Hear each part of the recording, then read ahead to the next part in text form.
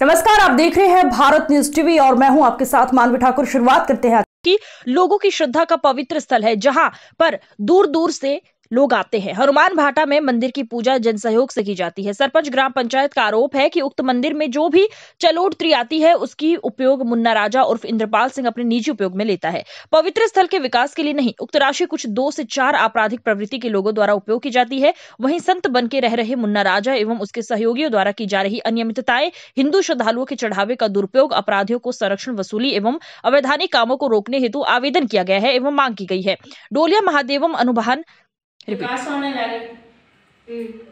सरपंच हम खमरिया सरपंच हैं। वहाँ हम विकास होने लगे कुछ वहाँ का उसी पैसे में कुछ विकास होने लगे।